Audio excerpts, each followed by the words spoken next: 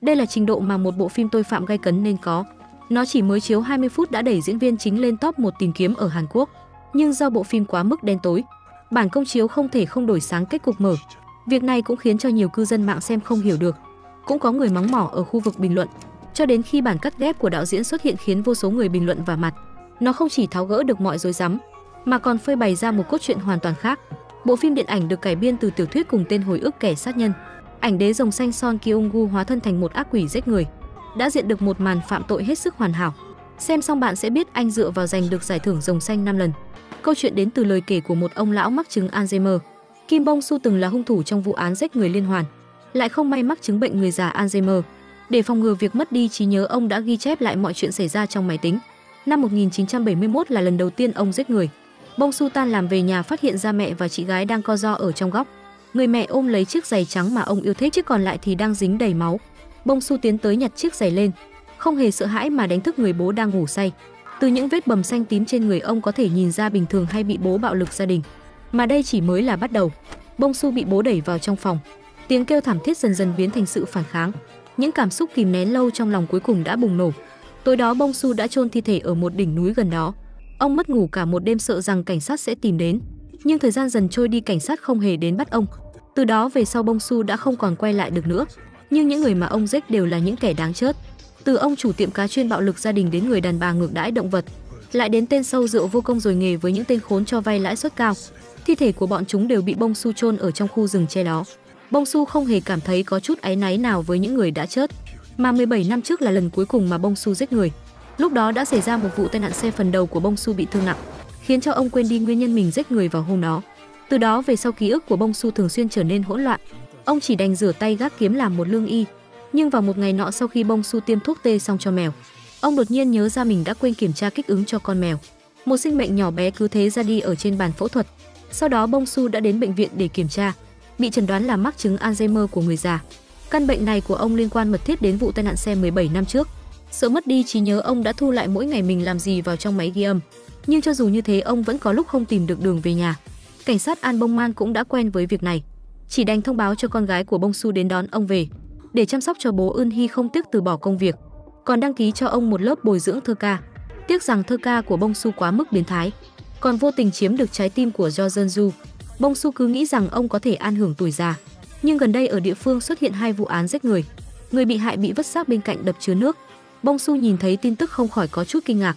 Ông sợ rằng mình lại gây án lần nữa nên vội vàng chạy đi xem đôi giày trắng của mình. May thay đế giày không hề dính bùn đất lúc này Bông Su mới yên tâm. Một ngày nọ Bông Su lái xe về nhà, đang chuẩn bị ghi ghép lại những việc cần làm thì lại vô tình tông vào đuôi một chiếc xe. Bông Su vội vàng xuống xe kiểm tra thì vô tình phát hiện ở cốp sau của đối phương có máu chảy ra. Thân là một sát thủ liên hoàn Bông Su lập tức cảm nhận được điều lạ thường. Ông lấy khăn tay ra chấm một ít máu rồi nhét lại vào trong túi. Chủ nhân của chiếc xe tên Teju Trực giác của Bông Su đoán chắc đây chính là hung thủ của những vụ án giết người gần đây. Tao Du vội vàng giải thích anh ta tông chốt một con hươu. Bông Su đề nghị trao đổi danh thiếp để bồi thường chi phí sửa xe cho đối phương. Tê Du lại không cần bồi thường từ chối cho ông phương thức liên lạc. Rất rõ ràng trong lòng anh ta có quỷ. Sau khi Tê Du rời đi Bông Su lấy máy ghi âm ra ghi lại mẫu xe và biến sổ của đối phương. Về đến nhà Bông Su tiến hành thí nghiệm với vết máu xác nhận phán đoán của bản thân. Hươu không có nhóm máu O, là máu người. Ông lập tức tìm một bốt điện thoại lựa chọn báo cảnh sát nặc danh. Hôm sau cảnh sát phá được một vụ tụ tập đánh bạc. Có một đôi nam nữ đã thành công trốn thoát từ cầu thang nhỏ ở bên phải. Mà ở trên đường lớn, ở bên ngoài Tê Du lại đang ngồi trong một chiếc xe cảnh sát. Anh ta nhìn thấy hai người hoảng loạn chạy vào trong con hẻm. Tê Du cấp tốc lái xe chặn lối ra. Tên to con đột nhiên xông lên chuẩn bị dạy dỗ Tê Du. Tê Du lại bình tĩnh rút thắt lưng ra. Động tác gọn gàng thuần thục tên kia không còn đường nào để phản kháng. Đồng thời lúc này người phụ nữ trốn ở trong nhà vệ sinh công cộng. Tê Du đạp một phát phá cửa nhà vệ sinh nhanh chóng giải quyết đối phương. Hôm sau Bông Su nhận được điện thoại từ đồn cảnh sát. Người gọi điện thoại chính là Tê Du. Anh ta nói với Bông Su rằng ở cốp sau chỉ là một con hươu mà thôi, không phải là xác người. Bông Su nhận ra cảnh sát không thể trông cậy được. Ông lại đến ngã tư chỗ đụng xe phỏng đoán nơi hung thủ vứt xác. Nếu như là bản thân ông nơi vứt xác rất có khả năng là đập nước gần đó. Bông Su lái xe đến đập chứa nước quả nhiên phát hiện ra một chiếc túi đan. Bên trong đó chính là một thi thể của một cô gái. Vụ án này nhanh chóng được truyền thông đưa tin. Tê Du nhìn về phía đập nước thầm vui trong lòng. Anh ta ôm mèo đến bệnh viện thú y của Bông Su nhưng ông đã tạm ngưng làm việc. Lúc này anh ta trùng hợp gặp được con gái của Bông Su Ưn Hi. Ưn Hi nói rằng bố cô đang ở nhà dưỡng bệnh không thể tiếp tục làm việc được. Nhìn thấy Ưn Hi rời đi Teju để lộ vẻ một biểu cảm thích thú. Tối đến Teju cố ý lái xe đến bắt chuyện với Ưn Hi. Khi nghe thấy có anh đẹp trai muốn đưa cô về nhà, Ưn Hi đương nhiên không từ chối. Đồng thời lúc này Bông Su đang nóng lòng đợi con gái về nhà. Một bóng dáng quen thuộc đi về phía ông ta. Bông Su đột nhiên trở nên rất căng thẳng. Phần mặt bên trái bắt đầu co giật không kiểm soát. Đây chính là người phụ nữ ông đã tự tay giết vào 17 năm trước. Bông Su khống chế người phụ nữ đó túm chặt lấy cổ cô ta. Đúng lúc này, bố, Bông Su đột nhiên ngơ ra, đối phương thế mà lại là con gái của ông. Ông thậm chí còn bắt đầu nghi ngờ ký ức về vụ tông xe hôm đó đã xuất hiện sai lệch. Có lẽ bản thân ông mới là hung thủ thật sự. Thấy bệnh tình ngày càng nghiêm trọng Bông Su đi đến một tu viện, nói bệnh tình của mình cho chị gái nghe. Trước khi đi chị gái đã kêu Bông Su lại bảo ông quên đi chuyện giết bố năm đó. Bà ấy sẽ luôn cầu nguyện cho ông, bảo vệ Bông Su bình an. Hôm đó Bông Su tham gia lớp bồi dưỡng thơ ca như thường lệ. Do Dơn Du mặt dày cứ nhất quyết phải hẹn hò với ông. Ông còn chưa kịp từ chối bà ấy đã leo lên ghế phụ lái. Đi được nửa đường Bông Su đột nhiên phát hiện con gái đang hẹn hò với Tê Du. Ông vội vàng xông đến ngăn cản nhưng ông đã quên mất Tê Du. Tê Du nhân cơ hội này nói rõ thân phận của mình. Anh ta là bạn trai của Ưn Hy. Do dân Du thấy thế biết điều kéo Bông Su đi bảo ông đừng làm phiền người trẻ tuổi hẹn hò. Bông Su chê do dân Du quá phiền phức trực tiếp bỏ bà ấy xuống giữa đường. Sau đó lấy máy ghi âm ra ghi lại chuyện yêu đương của con gái, bao gồm cả thông tin về thân phận của Teju. Mà trước đó Bông Su từng nhờ cảnh sát An giúp mình điều tra về chủ nhân của chiếc xe bạc. Cảnh sát An điều tra ra được chủ xe tên Teju là một viên cảnh sát, nhưng Bông Su đã quên mất về Teju. Cho đến khi nghe xong đoạn ghi âm của mình ông mới phản ứng lại. Con gái của ông lại đang yêu đương với tội phạm giết người. Biết được con gái đang ở dạp chiếu phim ông vội vàng lại xe đến đó tìm cô. Nhưng khi đến dạp phim thì Bông Su lại phát bệnh, hoàn toàn quên đi chuyện phải đi tìm con gái còn tự mình vào xem phim. Sau khi bộ phim kết thúc, ông mới nhớ ra phải đi tìm con gái. Nhưng hai người Ưn Hy đã rời khỏi rạp phim từ lâu. Bông Su vội vàng đi đến đồn cảnh sát báo án trùng hợp gặp phải hai đám người đang gây chuyện. Phía cảnh sát hoàn toàn không thể để ý đến ông. Đúng lúc này chuông điện thoại ông vang lên. Thì ra là Ưn Hy gọi điện tới cô đã về đến nhà rồi. Bông Su vội vàng về nhà hung hăng dạy dỗ con gái. Mà lời của Ưn Hy lại khiến ông giật mình một lần nữa. Tê Du đã nói với cô về chuyện tông phải đuôi xe. Hôm đó quả thật Bông Su đã đi đến đập nước. Thời gian đụng xe và thời gian xảy ra vụ án hoàn toàn trùng khớp. Chính Ưn Hy đã giúp ông lau đi bùn đất ở trên đôi giày. Con cũng nghi ngờ bố sao? Đương nhiên không có. Tê Du cũng nói rồi bố không phải hung thủ. Bố của con không phải là kiểu người như thế. Bông Su hiểu ra tất cả đều là âm mưu của Tê Du. Anh ta cố ý tiếp cận Ưn Hy từ đó uy hiếp khiến ông phải giữ bí mật cho anh ta. Để bảo vệ con gái Bông Su giao khăn tay dính máu cho cảnh sát An. Một khi vết máu này trùng khớp với người chết thì chứng minh Tê Du chính là hung thủ giết người. Thời gian hóa nghiệm cần đến một tuần Bông Su không hề ngồi yên đợi chết. Ông lôi Ưn Hy lên xe sau đó cảnh cáo Tê Du. Nếu cậu còn dám tìm đến Ưn Hy, tôi sẽ xé xác cậu sau đó chôn ở nơi mà không ai tìm thấy được. Sau khi về đến nhà Bông Su đã khóa chặt con gái ở trong phòng, còn điều chế ra một ông thuốc độc chờ thời cơ để thủ tiêu Teju. Ông đã theo dõi suốt một đường tìm được nơi ở của Teju, nhưng đợi đến nửa đêm Teju mãi vẫn không chịu tắt đèn đi ngủ. Đúng lúc này mặt trái của Bông Su lại co giật. Khi ông tỉnh lại phát hiện ra bản thân đã về đến nhà, ông lại quên đi Teju chỉ nhớ đối phương là bạn trai của con gái mình. Bông Su mơ hồ cảm thấy có gì đó không đúng.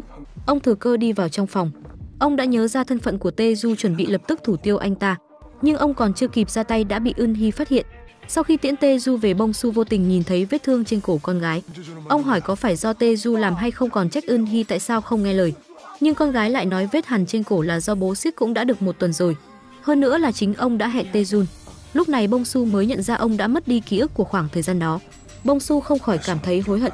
Bệnh tật đã lấy đi ký ức của ông nhưng ông vẫn giữ lại thói quen của kẻ sát nhân con gái ở chung với ông sẽ rất nguy hiểm. Để ghi nhớ được dáng vẻ của con gái, ông đã dán ảnh của con gái lên mặt dây chuyền. Sau đó lại tìm đến cảnh sát An để hỏi về kết quả hóa nghiệm. Vết máu không phải của người bị hại mà là của một con hươu. Bông Su thất thần quay về nhà. Ánh đèn nhấp nháy có một người đàn ông đang xem máy tính của ông. Khi người đó quay đầu lại thế mà lại là người bố đã chết của ông. Bông Su giật mình bừng tỉnh. May mắn chỉ là một giấc mơ, nhưng ông không biết mình đã bị trói lại từ lúc nào. Tê Du đang ngồi ở đối diện lật xem nhật ký của ông. Bông Su muốn tiến lên ngăn lại nhưng lại bị dây trói cản bước. Thì ra Tê Du đã xem được nhật ký trước đó, cho nên mới đổi vết máu trên khăn tay thành máu hươu. Anh ta thay đổi những thông tin bất lợi cho mình trong nhật ký, ý đồ thay đổi ký ức của Bông Su. Sau đó lại phát hiện ra Bông Su ghét Jo Jun Du quyết định giúp ông giết chết đối phương. Anh ta lấy điện thoại của Bông Su gọi điện cho Jo Jun Du, cố ý để lại một đoạn tin nhắn thoại. Tê Du lấy một cái kim tiêm ra đâm vào cổ của Bông Su. Khi ông tỉnh dậy thì sợi dây chói trên tay đã biến mất. Để ngăn con gái không bị Tê Du giết hại Bông Su vội vàng xông vào phòng ngủ của cô. Ông bảo Ưn Hy đến tu viện của cô để lánh nạn vài ngày. Còn đặc biệt gọi một chiếc xe hộ tống con gái rời đi. Trước khi đi ông dặn dò chị gái nhất định phải chăm sóc cho Ưn Hy thật tốt. Sau khi tiễn con gái đi Bông Su quyết định giết Tê Du để phòng trừ hậu họa. Ông bám theo đối phương đi đến một căn nhà ở bên bờ biển, phát hiện ra Teju đang đặt một chiếc bao tải vào trong cốp sau xe. Bong Su đi vào trong căn nhà nhìn thấy hiện trường giết người, còn tìm thấy một chiếc máy quay phim ở trong tủ lạnh. Bên trong quay lại khung cảnh Teju giết hại do dân du. Bong Su gửi đoạn phim này cho cảnh sát An, nhưng cảnh sát An dường như không tin lời của ông. Ông ấy gọi Teju đến đối chất trực tiếp. Cảnh sát An nhắc đến lịch sử cuộc gọi của ông và do dân du, mà bên trên máy quay phim toàn là dấu vân tay của Bong Su. Hàng loạt chứng cứ then chốt, Bong Su mới là hung thủ giết người. Teju hỏi ngược lại Bông Su rằng Ưn Hy đã đi đâu rồi. Anh ta đã 4 ngày rồi không liên lạc được với Ưn Hy. Cảnh sát An bảo Bông Su nói ra tung tích của con gái còn đồng ý sẽ tự mình bảo vệ Ưn Hy. Lúc này Bông Su mới nói ra Ưn Hy đang ở tu viện của cô ruột. Nhưng Ưn Hy từng nói với Teju rằng cô đã qua đời từ lâu sao có thể đang ở tu viện được chứ. Anh ta bảo Bông Su gọi điện cho chị gái để chứng minh. Lúc này Bông Su mới phát hiện ra danh bạ điện thoại hoàn toàn không có số của chị gái. Ông đạp mạnh chân ga rời khỏi hiện trường đi đến tu viện của chị gái. Lại phát hiện ra nơi đây đã bị bỏ hoang từ rất lâu. Nhìn thấy đống hoang tàn trước mặt Bông Su cuối cùng cũng nhớ lại ký ức lúc trẻ. Năm đó sau khi ông chôn bố mình thì không lâu sau chị gái treo cổ tự vẫn. Bông Su quay lại khu rừng đó. Ông bắt đầu không chấp nhận tin rằng mình lại giết người lần nữa, càng không dám tin rằng con gái sẽ chết trong tay của ông. Trên đường về nhà Bông Su cuối cùng cũng nhớ ra lần cuối giết người. Người ông giết chính là vợ của ông. Trước khi chết người vợ không chỉ thừa nhận bản thân ngoại tình, mà còn nói Ưn Hy cũng không phải con ruột của Bông Su. Ông vốn định về nhà bóp chốt Ưn Hy lại không may gặp tai nạn xe trên đường. Sau đó gương mặt co giật. Ông đã hoàn toàn quên đi chuyện Ưn Hy không phải con ruột của mình. Chuyển cảnh, cảnh sát đã triển khai lục soát khu rừng, thành công đào ra được 11 bộ xương người. Còn Bong Su đã chấp nhận hiện thực quyết định kết liễu cuộc đời mình. Ông đột nhiên nghe thấy máy ghi âm có giọng của Teju vang lên. Không ngờ ông vẫn còn giữ lại cái khăn tay dính máu đó. Lúc trước tôi đã coi nhật ký của ông rồi đổi nó thành máu hươu. Đừng đụng đến nó, muốn rách thì rách tao này thằng khốn. Cho dù thế nào cô ta cũng xem như đền tội thay cho ông. Hãy biết ơn đi cô ta sẽ chết thay ông. Bông Su nhớ lại thời điểm lúc Teju đang xem máy tính. Ông từng kéo túi của mình xuống đất sau đó ghi âm lại lời nói của Teju. Điều này đủ chứng minh không hề sát hại Ưn Hi. Con gái ông chỉ là đang bị che giấu ở một nơi khác. Ông nỗ lực nhớ lại chiếc xe đã đặt trước. Một biển số quen thuộc hiện lên trong não ông. Đó hoàn toàn không phải xe đặt trước mà là chiếc xe màu bạc của Teju. Chính ông đã tự tay giao con gái cho Teju. Bông Su vội vàng liên lạc với cảnh sát An cho ông ấy nghe đoạn ghi âm của Teju. Lúc này cảnh sát An mới ý thức được Teju là hung thủ trong vụ giết người liên hoàn. Để không đánh rắn động cỏ, cảnh sát An nói dối đang gọi điện thoại cho vợ. Ông ấy đi theo Teju đến một căn nhà gỗ nhỏ ơn hy quả nhiên bị giấu ở đây. Cảnh sát An vội vàng gọi điện thoại cho Bông Su nói cho ông biết vị trí của căn nhà gỗ. Hơn nữa đã gọi tiếp viện đi đến nơi đó. Nhưng vừa dứt lời Teju đột nhiên xuất hiện ở phía sau ông ấy. Cảnh này vừa hay bị Eun Hy nhìn thấy. Ưn Hi cố hết sức chạy vào trong khu rừng nhưng cô không thể nào chạy lại Teju. Chớp mắt Teju đã trói cô lại trong căn phòng. Khi anh ta vén tóc ra phần đầu thế mà lại khuyết đi một phần. Thì ra anh ta cũng giống với Bông Su có một thời thơ ấu bất hạnh. Lúc nhỏ bố anh ta thường xuyên bạo lực gia đình. Để cứu mẹ mình Teju đã lỡ tay giết đi bố. Nhưng anh ta hoàn toàn không ngờ được mẹ lại lấy bàn ủi tấn công anh ta, mới khiến cho đầu của Teju biến thành như thế. Từ đó về sau anh ta bắt đầu căm hận phụ nữ.